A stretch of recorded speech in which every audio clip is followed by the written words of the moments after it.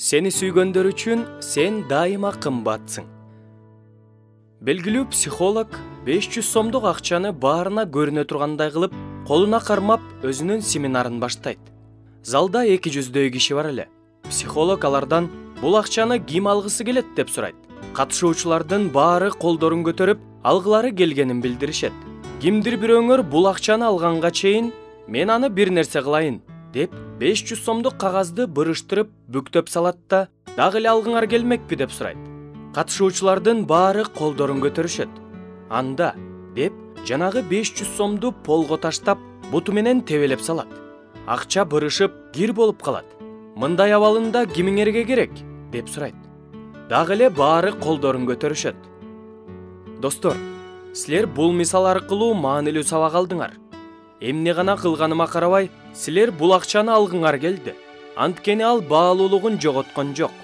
Ал дагы деле беш жүз сом бойдон калды дейт семинарды өткөрүп жаткан психолог. Достор биздин жашообузда да кыйынчылыкка дуушар болуп алсыз болгон колубуздан эч нерсе келбей калган учурлар кездешет. Сен жашап жатасың бирок эч кимге керек эместей сезесиң өзүңдү. Жашооңдо эмне гана болбосун сен эч качан өз бааңды жоготпойсуң. Тепселенип кир болдуңбу же таптаза бойдонсуңбу колуңда бир нерсең барбы же баарын жоготтуңбу. Сени сүйгөндөр үчүн сен дайыма кымбатсың.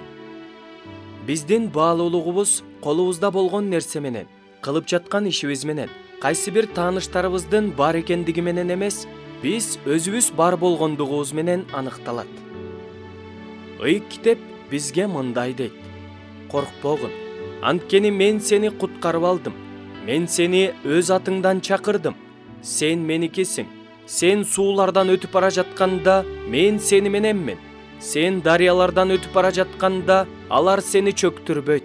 Оттон өтүп бара жатканда күйбөйсүң жалында сени куйкалабайт мен сени түбөлүктүү сүйүү менен сүйөм ошондуктан сага ырайымдуу колумду сундум. Кудай үчүн жана сени сүйгөн адамдар үчүн сен баалуусуң өзгөчөсүң. Муну эч качан унутпа.